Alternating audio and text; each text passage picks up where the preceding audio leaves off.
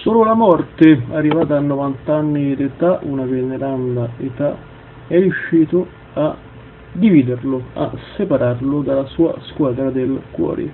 Si chiamava Ernie Crouch, 90 anni d'età, ripeto, tifoso dell'Arsenal, da sempre seguiva il famoso club londinese, sia quando giocava in casa sia quando giocava in trasferta, meritandosi anche il titolo di tifoso dell'anno. Sabato scorso però, mentre si stava recando all'Emirates Stadium per seguire la disfida tra proprio l'Arsenal e Sunderland, l'anziano è stato investito da un autobus all'altezza di Finchley Central a Londra.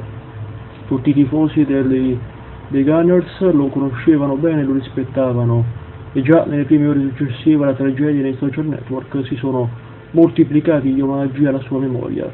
Molto probabile quindi che anche nella prossima gara casalinga dell'Arsenal il club deciderà di titolargli un doveroso, un obbligatorio applauso in quella che era considerata come la sua seconda casa. Grazie cari utenti, il video termina qua, una storia incredibile quella di Ernie Crash di cui vi ho parlato poc'anzi.